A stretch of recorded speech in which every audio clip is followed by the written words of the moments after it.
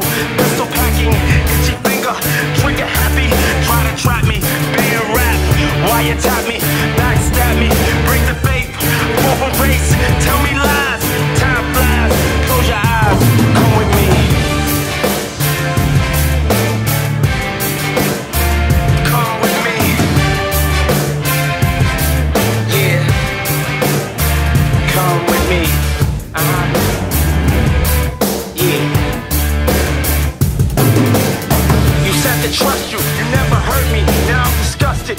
adjusted.